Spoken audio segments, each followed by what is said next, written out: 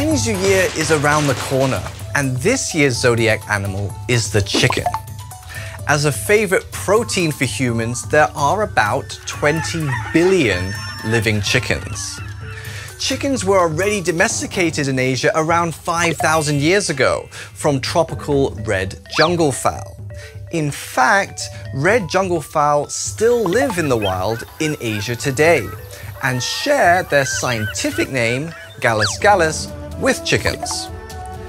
Their looks might be deceiving, but chickens have royal ancestry. As birds, chickens are avian theropods, the only group of dinosaurs that are still alive today.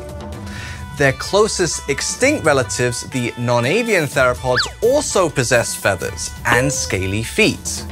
And they too walked on two legs and had some flapping abilities and were capable of gliding.